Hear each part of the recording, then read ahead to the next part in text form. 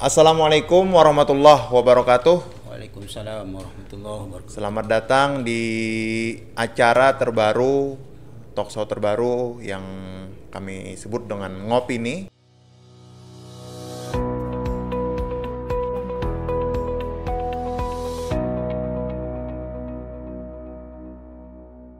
Hari ini adalah episode perdana dari uh, Ngopi nih. Apa itu Ngopi nih? Ngopi nih adalah siaran yang membicarakan tentang berbagai hal dari perspektif narasumber yang akan kami undang.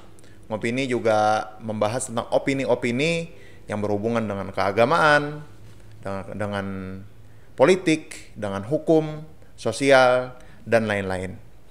Uh, Alhamdulillah pada malam hari ini, pada siaran pertama kali ini kami dibersamai oleh uh, Bapak Haji Rusnian Samarlim SH.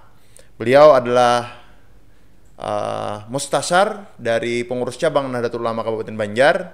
Beliau juga sebagai mantan ketua Tanpijah PCNU, juga sebagai akademisi uh, dan sebagai praktisi. Jadi luar biasa. Apa kabar, Abah? Alhamdulillah sehat. Ya, terima kasih atas undangannya. Uh, ulun enaknya biar manggil Abah aja seperti biasa. Nggih. Jadi saya biasa manggil sudah dengan panggil Abah. Jadi kita agar uh, pembicaraannya mencair, uh, kit- saya akan manggil dengan sebutan Abah saja.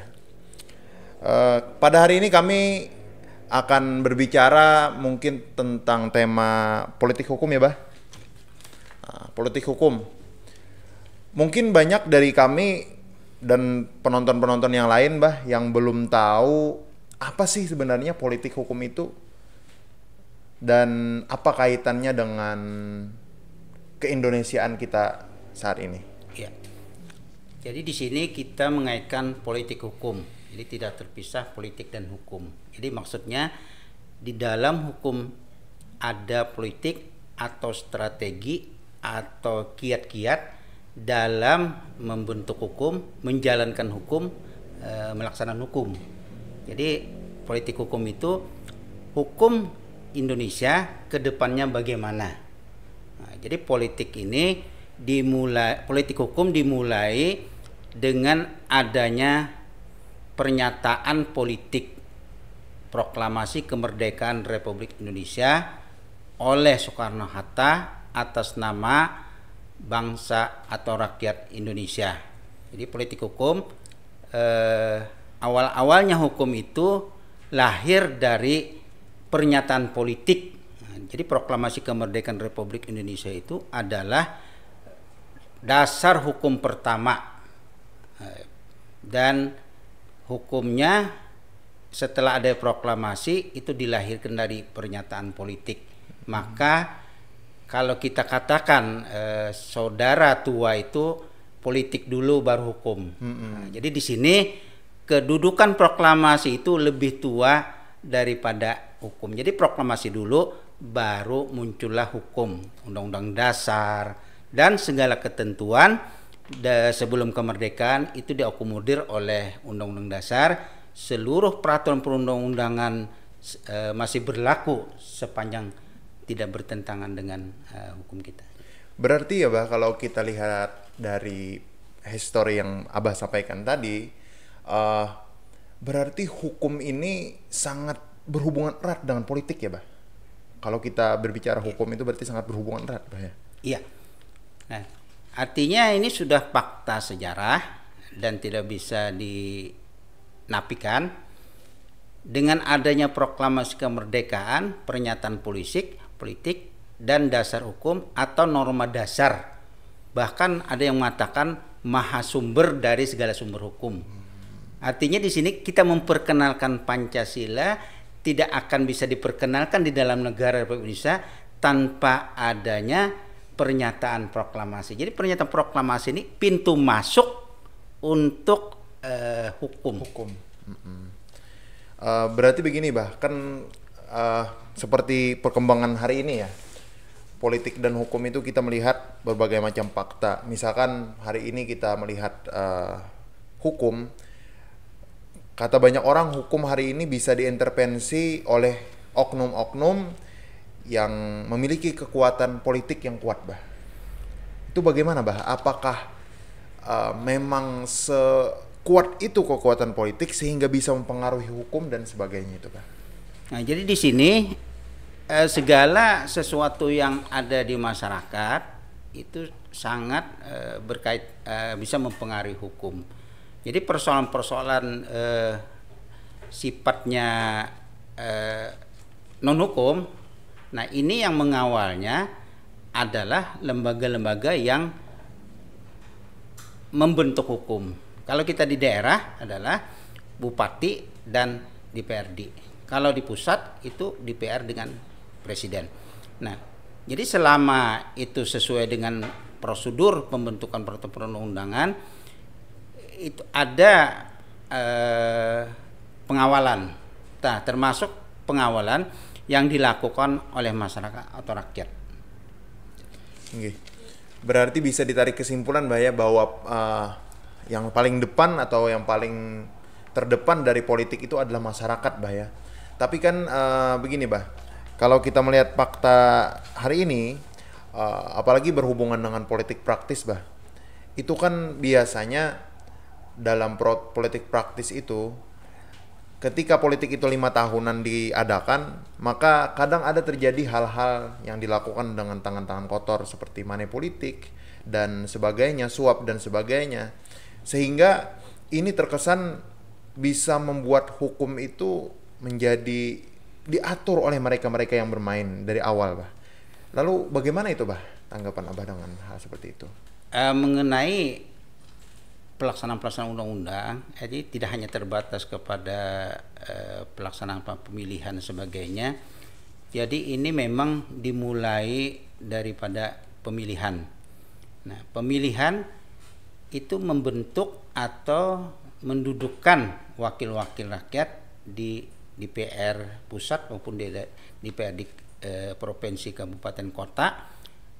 Nah, ini kalau pemilih-pemilih tidak cerdas hanya kepentingan-kepentingan sesaat akhirnya menghasilkan eh, wakil-wakil yang tidak berkualitas. Yang kedua, wakil-wakil ini harus ada pembekalan.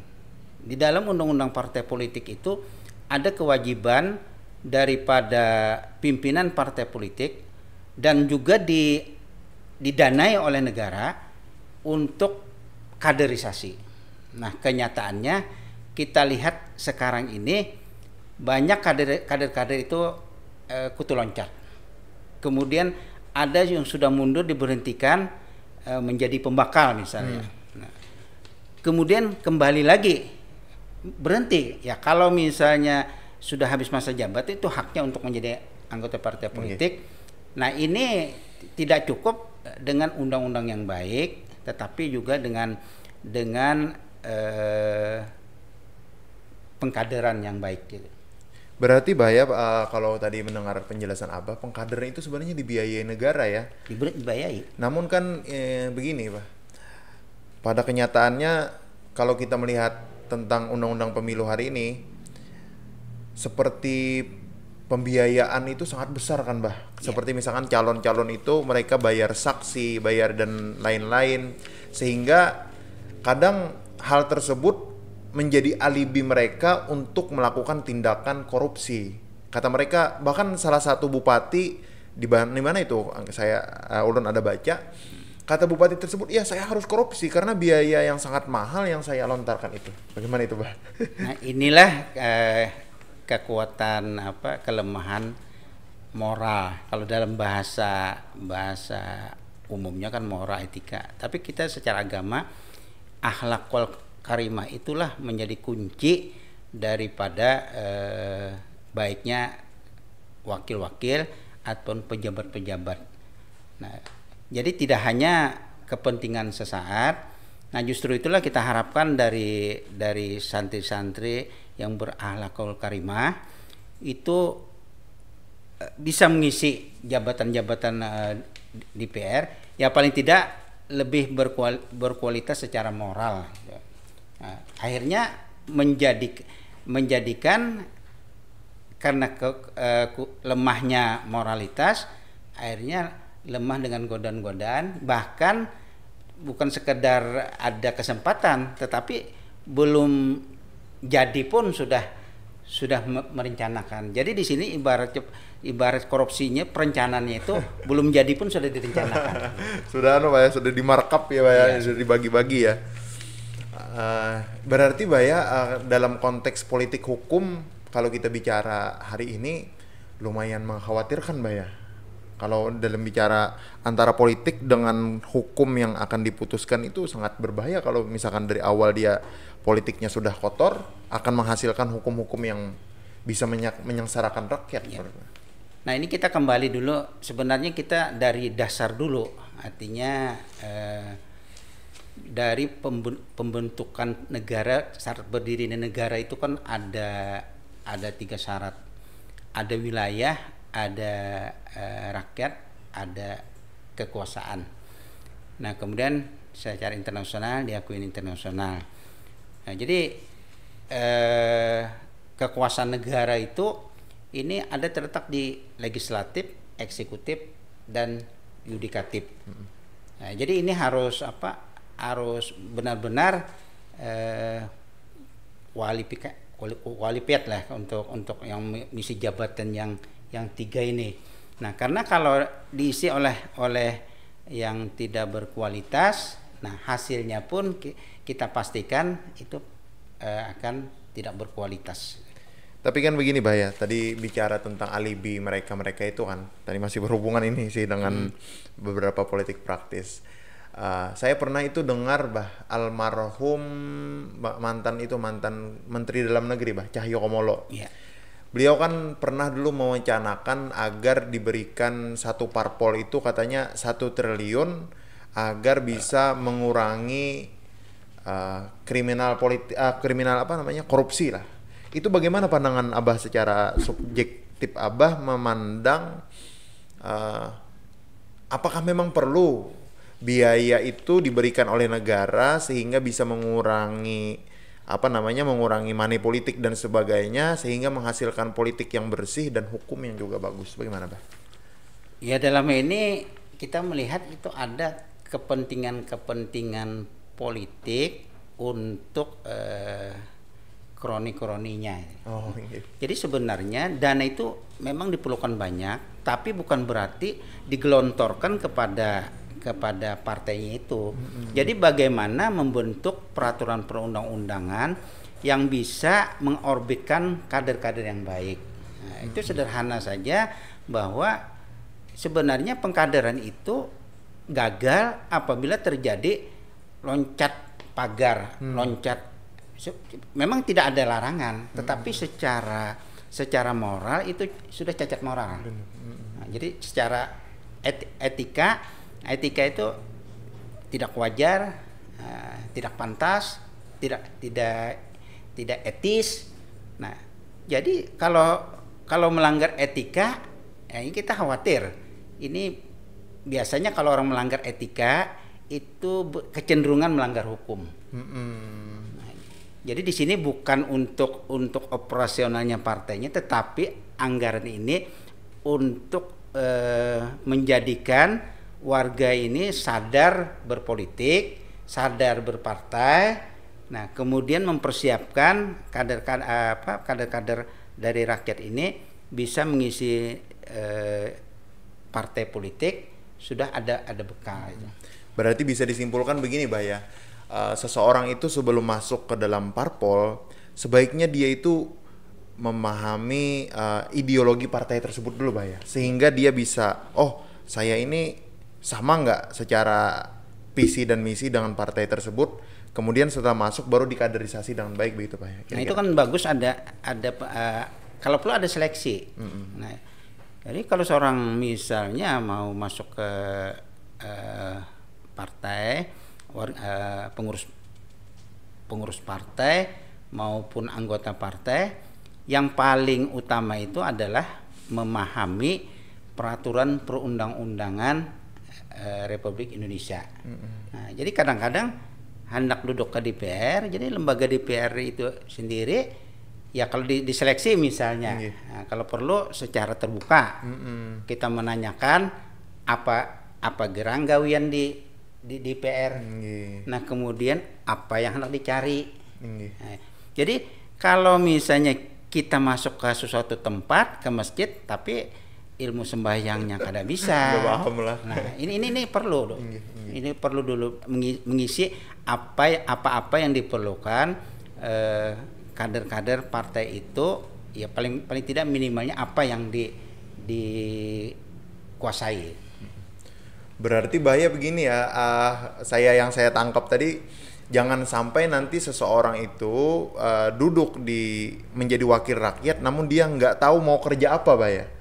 Padahal kan dia suaranya adalah suara rakyat yang dia perjuangkan suara rakyat, namun karena dia sudah dari awal tidak tadi apa namanya loncat kaderisasinya ah, sehingga menghasilkan orang seperti itu. Lalu bah bagaimana? Apa pesan abah?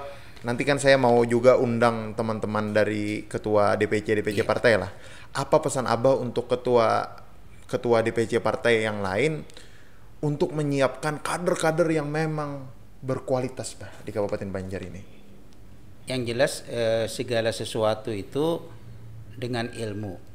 Nah, jadi kalau menyangkut tentang eh, keanggotaan di DPR, hak kewa- kewajiban segala macam itu banyak aja eh, pakar-pakarnya. Yang kedua, eh, kemudian jangan sampai terjerat dengan dengan perbuatan-perbuatan menyimpang itu harus diketahui rambu-rambunya Nah, sehingga eh, ber- bermanfaat lah jadi menjadi apa eh, mewakili rakyat.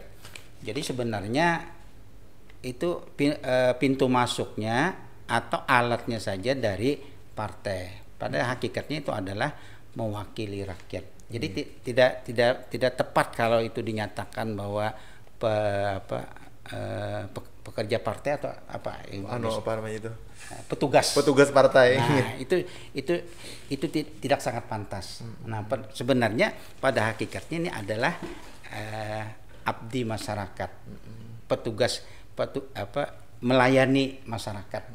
Hanya saja partai yang ibaratnya menjadi perantaranya lah ini kan ke sini ke sini.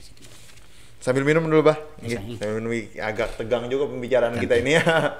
Serius banget ini pembicaraannya. Jadi kita apa santai ngopi sambil namanya juga program ngopi nih ya.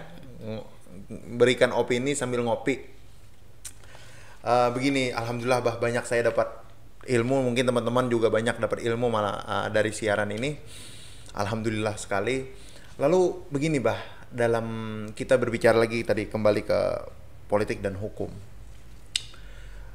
Eh, dengan melihat berbagai macam fakta hari ini, bah, dengan melihat berbagai macam keadaan masyarakat, dengan keadaan politik yang kadang tidak stabil, ka- bahkan terlihat polarisasi yang sangat apa yang sangat luar biasa yang seperti 2019 kemarin kita ini kan sudah mendekati 2024 bagaimana bah dalam kacamata dalam konteks politik hukum agar bisa semua yang berbeda ini kembali ke satu arah begitu bah Yang pertama itu eh, sama-sama menggu- menggunakan aturan, cara dan tujuan. Eh, kalau sudah ada relnya, ini kalau ada yang lewat di luar jalurnya ini, bah eh, dengan waktu yang sudah ditentukan. Nah, apabila terjadi eh, me- tak tidak melakukannya sesuai dengan jadwal boleh jadi akan ada terjadi tabrakan. Nah, jadi jadi yang jelas ini aturannya sama, tujuannya sama. Seluruh partai itu tujuan-tujuan khususnya pada akhirnya untuk demi negara dan rakyat Indonesia. Nah, tapi kenyataannya justru eh, memanfaatkan negara dan rakyat. Nah, ini ada apa? Artinya ini keluar daripada rel. Ya, kan peraturan perundang-undangan ada. Kemudian dari partai pun tidak sesuka-sukanya me- membuat aturan ada ketentuan-ketentuan yang membatasi dan membolehkan atau yang melarang. Hmm, Alhamdulillah. Jadi begini, Pak. Berarti begitu, Pak ya? Harus ikuti rel yang sesuai begitu ya? Ya, prosedurnya, undang-undangnya segala macam. Lalu bagaimana pesan Abah kepada kami? Kami kan dari Mubalik Mubalik ini sudah hampir di tahun politik juga. Bagaimana kira-kira kami bisa mengedukasi masyarakat agar mereka mampu menjadi masyarakat yang paham dengan politik dan hukum yang sesuai dengan uh, Pancasila. Bagaimana kami Mubalik Mubalik ini bisa menyampaikan itu pesan Abah kepada kami-kami ini? Yang pertama adalah kita di dalam negara Kesatuan Republik Indonesia dan harus memahami hukum yang hukum positif yang berlaku di negara Republik Indonesia. Jadi memang kalau kita secara awam yang terdengar di masyarakat seolah-olah hukum hukum Islam kita, hukum syariah kita tidak jalan. Pada sebenarnya eh, berdasarkan pengalaman yang kita lihat itu di atas 75% sudah diakomodir oleh oleh negara. Nah, contohnya pengadilan agama. Jadi sebenarnya pengadilan agama itu adalah pengadilan agama Islam. Nah, kemudian tidak ada satupun dari kewajiban-kewajiban kita tuh yang dihalang-halangi oleh oleh negara, kecuali oleh oleh oleh orang-orang oknum oknum politik atau oknum oknum uh, yang tidak menyukai keberadaan uh, Islam. Nah, ini itu kan di, di luar daripada koridor prosedur itu. Nah, jadi anggaplah itu ilegal. Jadi intinya para dai itu harus memahami undang-undang dasar, kemudian undang-undang, eh, kemudian peraturan pemerintah sampai perda sampai pelaksanaannya. Jadi bukan sekedar bukan sekedar membaca, tapi ini kenapa jadi ini? Ini apa manfaatnya? Nah, kemudian mensosialisasikan kepada masyarakat. Jadi yang kelemahan yang kita lihat itu barangkali belum belum ada lembaga yang eh, memberikan edukasi tentang hukum positif kita. Jadi perlu juga ya kita ini berarti nanti mengadakan anu kayaknya lembaga dakwah ini pembekalan huk, uh, pembekal, pembekalan tentang hukum positif. hukum positif ya untuk para dai dai nanti. Mungkin nanti ini PCNU bisa memfasilitasi buat apa mau dicatat lah. mau ya mau dicatat katanya nanti. Uh, Alhamdulillah bah. Jadi berarti sangat sangat penting ya hal hal demikian itu di apa namanya diedukasi kepada masyarakat. Yeah. Lalu begini bah, kadang kita itu kan dihadapkan dengan dua hal yang sulit bah. Yeah. Kadang para mubalik seperti kami-kami ini di satu sisi diberi jasa oleh orang. Sehingga untuk mengatakan sesuatu yang menurut perspektif mubalik itu salah, agak sulit bah. Karena kita sudah diberi jasa oleh seseorang untuk menyampaikan itu tidak bisa Nah ini bah yang jadi problem-problem para mubalik itu kadang mau bicara A, tapi A tersebut dilakukan oleh orang yang memberi jasa ke kami para mubalik ini. Hmm. Nah. Ya barangkali kan mubalik itu ada ada banyak, okay. jadi ya, tidak tidak mungkin juga bisa di, eh, di dibayar atau di, dipegang oleh Nah, ini ya berbagi, berbagi. Nah ini penting juga spesialisasi Nah, misalnya kan di dalam di dalam ilmu ilmu kedokteran nah, dokter-dokter itu ada membimbing spesialisasi, ada gigi, ada jantung. Bukan dakwah ini ada kader juga yang bisa spesialisasinya untuk menyampaikan kompositif mm -hmm. nah, tentang apa undang-undang haji, undang-undang zakat. Mm -hmm. Ini luar biasa. Nah, undang-undang peradilan agama jadi kalau kita inventarisir luar biasa eh, hukum kita ini sudah diakomodir oleh oleh negara. Nah itu juga bah problem bah sekarang. Ulun itu melihat di lapangan kadang masih banyak bah dari para dai dan mubalik itu yang mereka merasa hukum kita ini katanya hukum Belanda begitu bah kadang. Mereka sebenarnya kurang memahami bahwa hukum tadi seperti yang Abah jelaskan bahwa sebenarnya hukum kita itu sudah 70% yang sesuai dengan uh, hukum Islam sebenarnya. Uh, itu memang bahwa yang jadi problem di masyarakat dan akhirnya ini menjadi pemahaman masyarakat bahwa hukum kita masih jauh Nah ini bah menjadi celah. Akhirnya ini menjadi celah ter- terhadap masuknya paham-paham orang-orang yang meng- mengusung khilafah bah. Ya.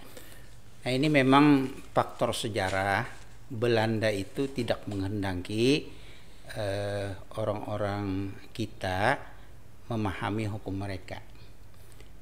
Salah satu yang di, diracuni nah, bahwa kita tidak perlu mengaji secara mendalam tentang dunia. Oh. Itu, itu. dan dunia itu milik mereka. Mm-mm. Ya, sekaya apa pun ya, ini dianggap neraka lah Pak, di- dibandingkan akhirat.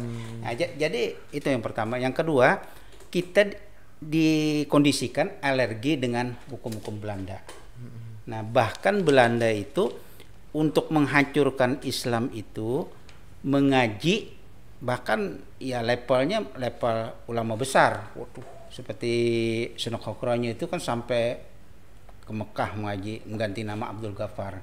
Nah, dan di, di situlah dia me, eh, membenturkan antara hukum adat dengan hukum Islam. Jadi hukum adat itu diagungkan misalnya, ya, di diracunilah tokoh-tokoh adat. Agama yang dari luar ja, eh, masuk ke wilayah adat harus menghormati hukum adat. Mm-mm. tidak ber- boleh bertentangan dengan hukum adat. Harus disaring. Nah ini sal- salah satu. Nah j- jadi selama ini yang kita lihat kita lemah di dalam mempelajari hukum-hukum Belanda itu di mana kekuatannya di mana kelemahannya jadi kita memberikan contoh antara mahasiswa syariah dengan mahasiswa hukum umum mahasiswa hukum umum sarjana hukum umum lihat aja di kalau di pengadilan negeri mayoritas hukum umum. Harusnya di pengadilan agama mayoritas ya berarti kalau penuh 100% ya, hukum syariah. Karena kan ini, ini pengadilan agama ini hukum syariah, memutuskan dengan hukum syariah. Nah, kenyataan mereka hukum umum masih bisa masuk ke pengadilan agama.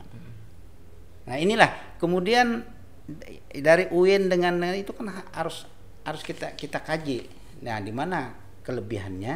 Karena mereka mempunyai kader-kader yang sudah eh, terlibat di dalam pembentukan peraturan di DPR. Sebagai contoh yang kita tak ketahui bahwa advokat itu syaratnya adalah berpendidikan tinggi hukum. Artinya di situ hukum apa pun syariah maupun umum. Nah, tetapi turun ke bawah karena kita tidak mendalimi undang-undang diposisikan, dikondisikan bahwa syaratnya sarjana hukum. Akhirnya sar- sarjana agama, sarjana hukum Islam belum sampai ke meja pengumuman sudah angkat tangan. Nah, padahal kalau kita mengerti undang-undang bahwa ini syaratnya bukan sarjana hukum. Nah, kan di, di luar kita ambil sumbernya jangan mendengar dari orang-orang kalau sudah profesor jangan langsung kita taguk. Nah, ini bujur keadaan anuannya. Misalnya ini tidak tidak memenuhi syarat kalau misalnya ini buta misalnya. Tapi buta bisa membaca misalnya. Nah, jadi yang syarat syarat yang tidak dimungkinkan bis, eh, tidak memenuhi syarat itu adalah yang tidak bisa baca tulis. Walaupun yang yang melihat tapi tidak bisa tulis, tidak bisa baca tulis, maka tidak memenuhi syarat itu. Nah, jadi di sini kalau segala sesuatu ya kita kita kajilah secara mendalam. Nah, ini kan disk- diskriminasi. Dulu sarjana agama. Wah, ini ini bukan sarjana hukum seolah-olah. Nah, padahal kan sebenarnya nah, kemudian apakah ini su- suatu eh, kesengajaan atau kelalaian? Nah, ini sarjana agama pendidikan kah? Sarjana agama eh, syariah kah? Ini kan dijelaskan. Akhirnya masuk ke sini eh, kada bisa masuk ke sini. Nah, akhirnya dijadikan dipisah Sa- sarjana pendidikan Islam, sarjana hukum Islam. Diskriminasi lagi bahwa yang diperlukan itu adalah sarjana hukum. Hmm. Nah, dalam beberapa periode lalu menjadi sarjana hukum. Nah, ini ya. Nah, jadi ini penting di dalam eh, politik hukum untuk menggolkan sesuatu yang yang mungkin diperlukan untuk kelancaran dakwah segala macam. Jadi intinya tidak hanya di DPR mulai mulai cikal bakal itu sudah sudah di di apa dipersiapkan. Sambil minum dulu, Bah. Eh, Bismillah. Santai dulu. Berarti bah yang paling be, yang paling penting untuk mengatur tentang apa yang perlu diubah dari peraturan tersebut kira-kira agar tidak bisa lagi tidak disalahpahami seperti yang Abah jelaskan tadi. Yang jelas dari bawah itu sudah ada sosialisasi. Kemudian dalam pembentukan peraturan perundang-undang itu ada asas. Hmm. Asas asas misalnya eh, keadilan. Hmm. Kemudian non diskriminatif misalnya. Nah, kalau ternyata di situ ada ketidakadilan, nah berarti ini ada yang tidak beres. Cuman intinya eh, peraturan itu yang lebih diutamakan itu adalah pelaksana pelaksananya. Jadi ada ungkapan bahwa peraturan yang baik sebaik apa pun dilaksanakan orang yang tidak baik akan menghasilkan sesuatu yang tidak baik. Kemudian sekalipun seburuk apa pun peraturan dilaksanakan oleh orang yang baik itu ada eh, bisa menghasilkan sesuatu eh, hasil yang baik. Nah, apalagi peraturannya baik, pelaksananya baik. Berarti kebijaksanaan para penegak hukum dan pe pelaksananya itu penting bah ya di dalam memahami undang-undang tersebut ya? Ya penting, karena peraturan perundang-undangan itu sifatnya terbatas, apalagi peraturan itu ada yang sudah 20-30 tahun. Jadi hendak mencapai suatu tujuan tidak mungkin menggunakan peraturan yang eh, setiap tahun itu kan ketinggalan zaman. Nah, di sinilah press air nya kebijakannya yang bisa diambil supaya sampai nyeberang. Ya, kalau berharap dengan peraturan, uh, apalagi peraturan dari zaman Belanda, ya mungkin suatu saat kita mendiskusikan tentang peraturan-peraturan yang tidak sesuai lagi dengan zaman, kemudian yang bertentangan dengan syariah, itu itu banyak. Nah, jadi di sini bagaimana peran peran-peran yang sarjana syariah ya kita perlu inventarisir lah di di DPR sana eh, pakar-pakar yang dari dari syariah apakah mereka ini ibarat a priori tidak tidak mau masuk ke ke DPR karena ini segala macam itu sayang. Daripada diisi oleh orang lain ya masuklah untuk untuk apalagi sampai mayoritas. Jadi untuk membentuk peraturan perundang-undang itu lebih mudah. Nah, berarti tadi Abah kan ada uh, sedikit me, menyebut tentang hukum Belanda yang lalu bagaimana bah tanggapan Abah tentang KUHP yang baru ini? Nah, sedikit lah kita hanya apa sedikit ke samping lah daripada politik ya, hukum. Ya KUHP yang baru kita jangan dulu menyimpulkan kadang-kadang satu dua pasal dipiralkan. Nah, itu kan ada pertimbangan-pertimbangannya perlu diskusi panjang yang jelas secara garis besar artinya mayoritas itu memang untuk kepentingan masyarakat. Uh, jadi ke, uh, adanya uh, itu itu mengakomodir aspirasi-aspirasi. Jadi ya inventarisir. Nah itu bisa dilakukan uh, uji kalau itu uji material ke MK atau uji legislatif ke lembaga yang menerbitkan. Mm-hmm. Nah, yang kedua harus ada penekan pressure, bukan sekedar dikirim tanpa pengawalan ada pressure. Nah, misalnya tekanan-tekanan eh, politiknya melalui masa. Nah, misalnya kalau ini tidak dia apa konsekuensinya? Nah, salah satu konsekuensinya ini bakal tidak dipilih lagi misalnya macam akhirnya ini menjadi eh, pencegah oh, ini bakalan tidak dipilih kemudian aspirasi yang kita sampaikan itu argumentasinya kuat yang kita lihat itu hanya sekedar demo-demo hmm. tapi tidak menunjukkan solusi solusi yang kedua, motivasinya itu bukan untuk keperbaikan, tetapi motivasinya kepentingan politik tertentu hmm. yang eh, sesaat. murni. Kadang bahaya uh, yang yang maaf ya, kadang yang ikut demo itu juga nggak baca bah dengan apa yang mau didemokan itu. Kadang mereka mereka yang Iya, banyak terjadi level mas mahasiswa aja ini menyatakan ini, ini ini begitu terjadi perdebatan dengan uh, Profesor Mahfud MD bingung. Nah, jadi jadi intinya ya karena uh, dipiralkan, nah kita ikut-ikutan aja kan. Sebenarnya itu argumentasinya apa, gitu. kemudian kal yang maunya kayak apa, hmm. gitu. Nah kenyataannya pokoknya demo-demo itu. Sekarang Mbah katanya kan di KUHP yang baru ini nanti akan ada tafsiran-tafsiran.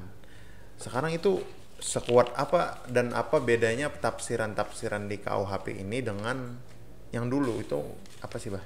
Ya tafsiran itu memang sudah ada teorinya. Misalnya tafsiran otentik. Misalnya di sini kada jelas ini apa.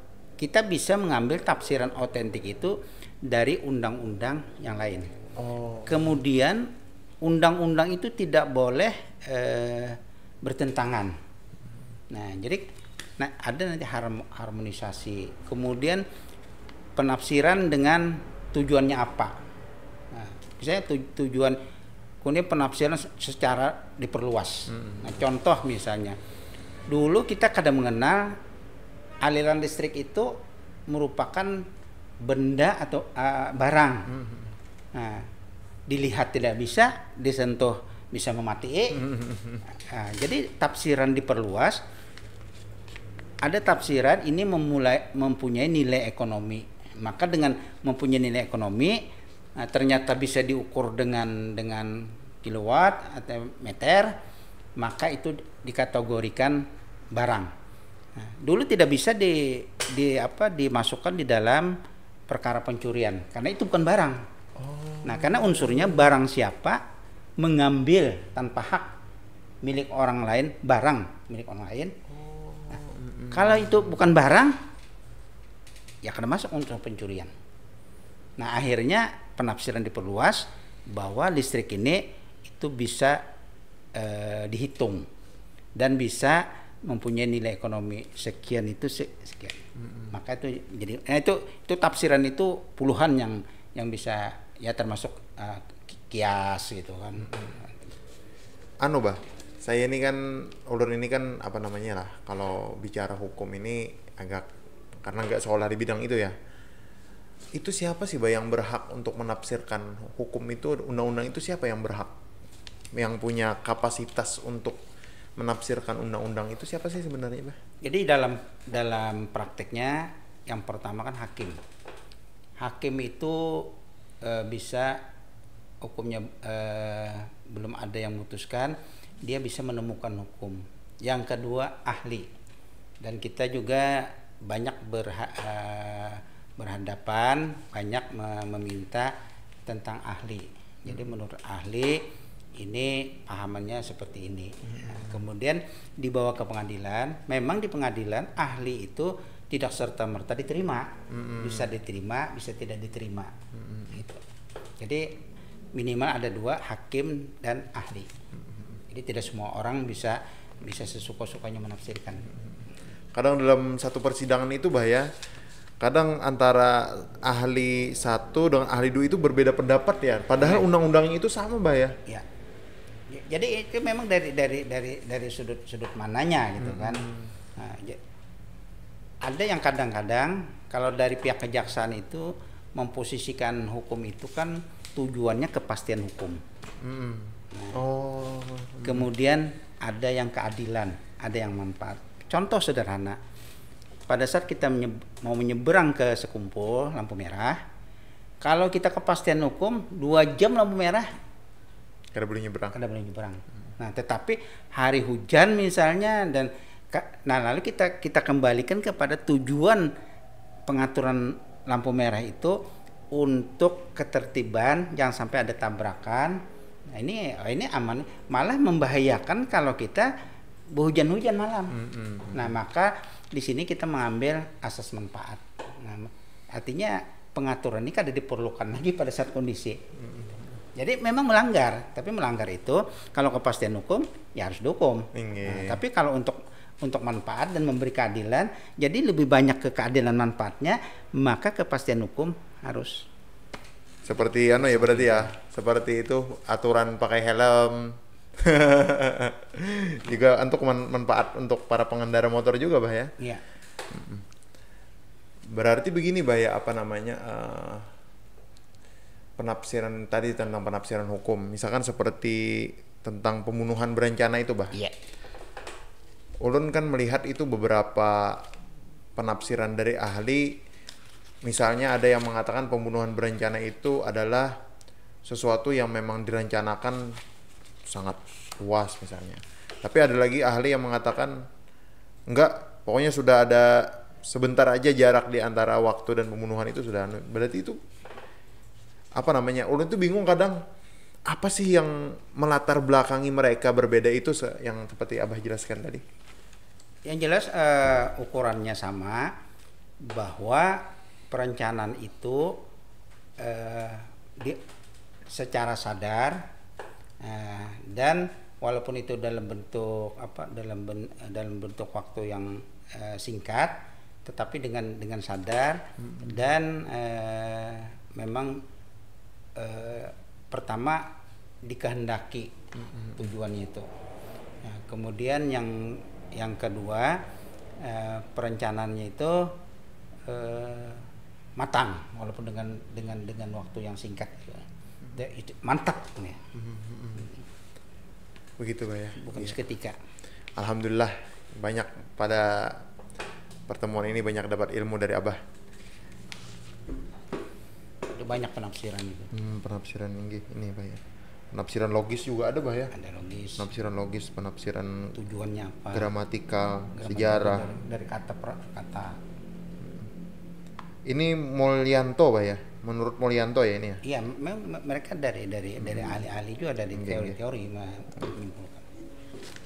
Apa Bah eh, dari pembicaraan kita pada malam hari ini dari episode pertama ini apa kira-kira eh, pesan Abah dari seluruh pembicaraan kita sebagai penutup untuk semua para penonton lah kira-kira.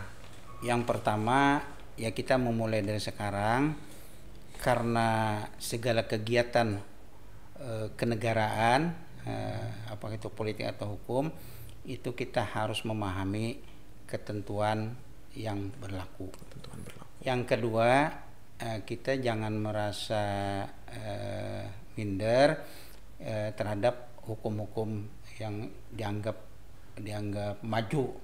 Eh, kemudian jangan sampai kita a priori atau pesimis terhadap terhadap lembaga pembentukan undang-undang. Setidak-tidaknya ada kader-kader kita yang disupport semangat untuk mengisi Dewan Perwakilan Rakyat di pusat maupun di daerah. Jadi yang yang kita lihat apalagi yang di, di daerah-daerah yang agamanya agamis, jadi semacam ya jangan jadi polisi, jangan jadi jaksa. Hmm, Ini iya. adalah eh, pemahaman yang keliru. Akhirnya yang mengisinya ya, Iya, betul. yang ya kita tidak mengambil manfaat di situ. Oke.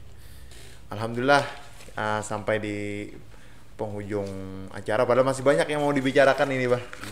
Semoga nanti abah ada waktu kita bisa part 2 lah bicara tentang hukum ini. Uh, semoga apa yang kita dengarkan dari penjelasan abah Haji Rusnian Samarlim SH kita dapat manfaat kita dapat ilmu yang bermanfaat dan mendapatkan pesan untuk menjalankan kehidupan kita sehari-hari terutama dalam berpolitik dan menjalankan hukum.